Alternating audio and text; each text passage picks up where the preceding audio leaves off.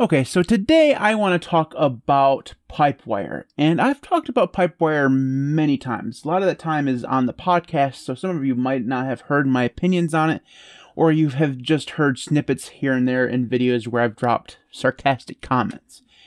And I have to say that I have a very strong opinion on Pipewire. My opinion is that it's just not ready yet, and I don't understand why it's being pushed on people. But I understand that some people out there have had really good experiences with Pipewire. They have found that it is a good replacement for things like Jack. Now, those people who have had that experience, I can understand that perhaps Pipewire is a fantastic replacement for Jack and it's easy to configure and easy to use.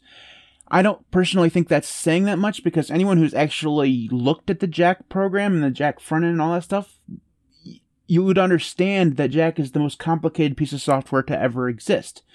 So saying something is easier than Jack is not really saying all that much. But honestly, all that is beside the point because what we want to talk about is Pipewire. And for those of you who don't know, Pipewire is a complicated piece of software because it's not only a piece of software that sits on top of Pulse Audio in some situations, it can replace Pulse Audio in some situations, but it also deals a lot with video and screen capture for things like OBS and what have you. So when you say Pipewire is the future, what you're saying is kind of complicated because it's meant to do quite a bit of stuff. And my argument, through experience of actually using Pipewire, has been that it's just not ready for certain applications. Now, if all you ever do is log into your Ubuntu system, watch some YouTube, listen to some music, whatever, you're going to have a fine experience with Pipewire for the most part. That's not taxing its abilities at all. I have no experience with using Pipewire for music development or anything like that. So I have no thoughts on that process or any experience of how good or bad Pipewire happens to be. All of my experience with Pipewire comes from video creation. So I use things like Simple Screen Recorder and OBS and Audacity and Kdenlive and stuff like that. So content creation in that realm is where I have all my experience.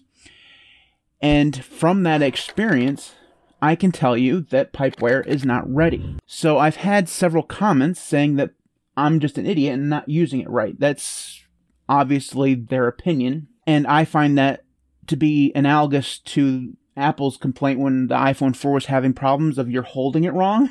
I I don't personally think that the stuff the problems that I've had with Pipewire are user errors. So let me explain things that have gone wrong with Pipewire for me personally. Now let me go ahead and say this. A lot of the problems that I've had are less to do with Pipewire and more to do with app compatibility with Pipewire. So for example, I've noticed for whatever reason, at least on my system and in my experience that Pipewire does not interact with things that are Flatpak all that well. So, for example, if you download the Flatpak version of OBS, which is the officially supported version of OBS on Linux, it doesn't always work with Pipewire very well. Specifically with audio capture. One of the things that I've experienced with that multiple times is that for whatever reason, it will take my output devices, which right now I have a DAC connected to my computer, which is it's a DAC amp combo thing, some cheap that I just bought from Amazon.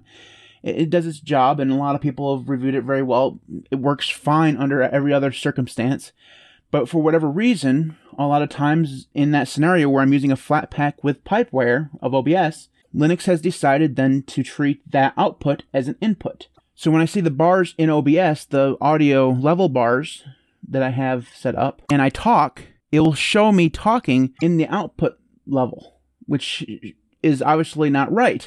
That's not the way it's supposed to be. Now, you could just blame that on OBS.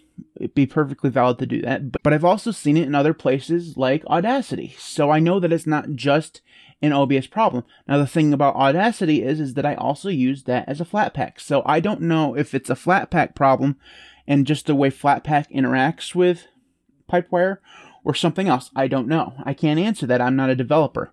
What I do know is from my experience is that in those situations, Pipewire doesn't work. Now, outside of the whole Flatpak thing, I've also had similar problems where for whatever reasons devices connect and disconnect for random reasons. And it's not as if they're being physically disconnected, they're actually still connected to the computer. It just shows them connecting and disconnecting over and over again, just like seconds apart from each other, just on, off, on, off, on, off. Don't know what's going on there either. And I can only assume that that's a Pipewire problem because, again, Pipewire is what I'm using. Now, the thing is, is that you kind of have to use Pipewire because trying to uninstall Pipewire from Arch is like trying to install Snap from Ubuntu. It's possible, but it's not that easy. Things like MPD rely on Pipewire for whatever reason. Even though MPD has been around for 25 years, maybe even longer, it should not rely on Pipewire, but it does. So removing it is almost impossible. Another experience with Pipewire that I've had a problem with is that it doesn't work very well with Kdenlive. Some the things that I do in Kdenlive require me to be able to see the waveform in the timeline. So if I want to cut out some silences, or if I want to cut out some going throughs, for those of you who have been watching my videos, I've been trying to cut down on the words going through all the time. You know, if I want to cut that stuff out, I need to be able to see the exact places where the audio levels have gone up for those words, right? So I want to cut that stuff out. The problem I've been experiencing lately, and again, this may just be a KDE problem or a KDE a, a Kdenlive problem is that the timeline shifts. So you can, for instance, hear me talking, but the wave line, the waveform is completely flat. There's no like waveform there at all. And if you zoom out, the waveform will then like snap into place where it's supposed to be, and then all of a sudden the waveform is correct again. It's really weird. Again, could be a Kdenlive problem, but I haven't experienced that on systems that don't use Pipewire. Another thing that I've seen in Kdenlive is sometimes the audio levels aren't there at all, where it, it actually shows a waveform that is like oh, like maxed 100%. It sounds like it's completely static for the whole thing. It doesn't sound that way, but it looks like that. It's really hard to explain. I wish I had a, an example to show you. It's really weird. It happens all the time. And again, it's something that I've never seen happen on a system that doesn't have Pipewire installed. It doesn't happen all the time, but again, it's something I've seen. So when I say Pipewire is not ready, I say Pipewire is not ready for me. Okay, so I've said this multiple times. You may have a fantastic experience with Pipewire. It may be something that you've just had a wonderful experience with and you have just totally abandoned Pulse Audio and it's just, it's completely changed your life. It, that may be true for you. For me, it's not ready yet it's broken in multiple situations. Now, again, I don't know whether it's not it's pipewire or it's just these applications in their interaction with pipewire that's causing the problem. It also could be a hardware thing where pipewire just doesn't like my particular hardware. That's possible, but the problem is, is that I've seen other Linux YouTubers say some of the exact same things. So I know Brody Robertson had some issues with Pipewire way back. I don't know if those have been fixed. I think he said that Pipewire is now good for him. I'm not sure. I know eBuzz Central has made several videos on Pipewire. I've heard several other Linux YouTubers talk about how Pipewire does not work very well for video creation. This is not a Matt, you're an idiot type of scenario. This is something that has affected many people, and coming out and saying that hey, you're an idiot doesn't isn't really you know uh, uh, uh, the right way to handle this, right?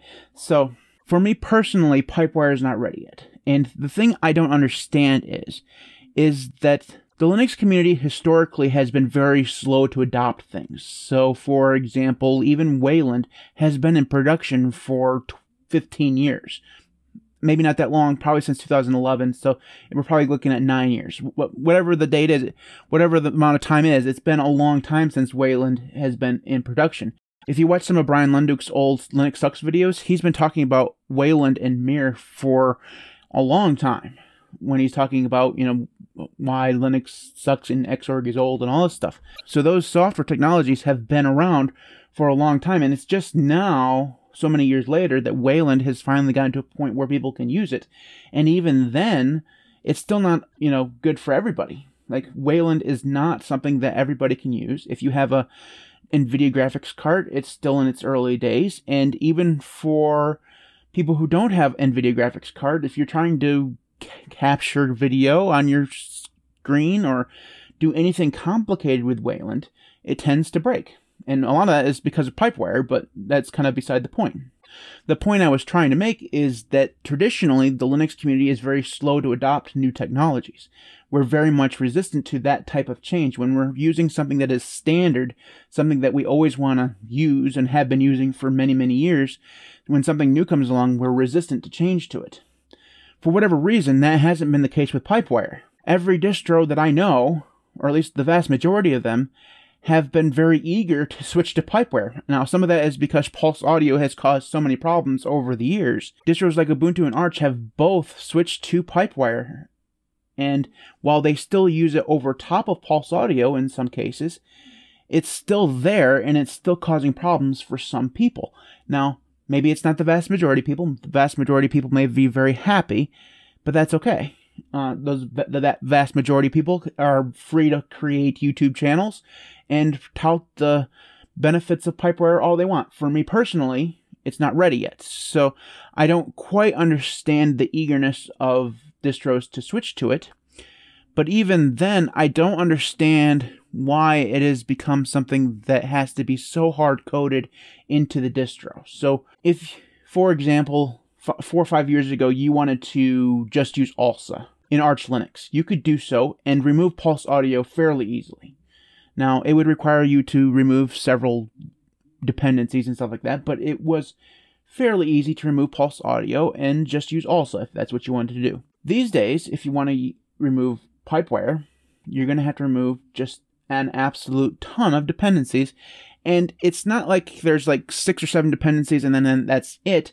But each of those dependencies then are dependencies for other things. So it's kind of like a, a never ending spiral until you've removed like half of your system. Now that's probably exaggerating a little bit, but the point is, is that in order to remove Pipewire, it's pretty much impossible without removing every single piece of audio software on your computer. And that's not a good experience because if you don't want to use Pipewire, getting rid of it is damn near impossible. And the sad part of it is is that there's not a ton of distributions out there that aren't switching to it. So I know like things like some versions of Debian you can still use that don't have Pipewire. I know you can you obviously use Gentoo without Pipewire if you want to, and I'm sure there are several others, but the point is, is the mainstream ones have all switched.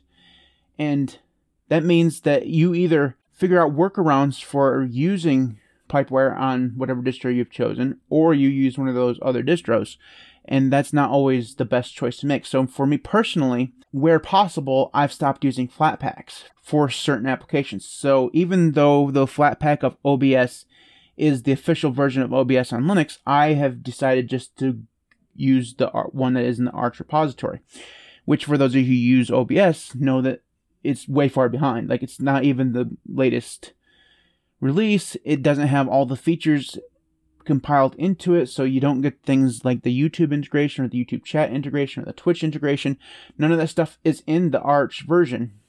And it is in the Flatpak version, which is why I switched to it, but it doesn't work very well all the time with Pipewire, so I've had to use the one in the Arch version.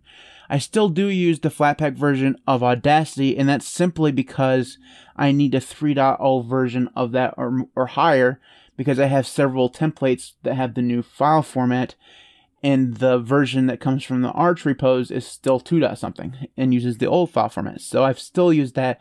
Luckily, at least so far, knock on some wood here, the Pipewire that is on Arco right now seems to be working fine with Audacity. Sometimes the levels in Kdenlive and stuff get all messed up, like I was talking about, but I've been able to kind of work around that. But yeah, so I understand again that my experience is not everyone else's experience. That's kind of the point.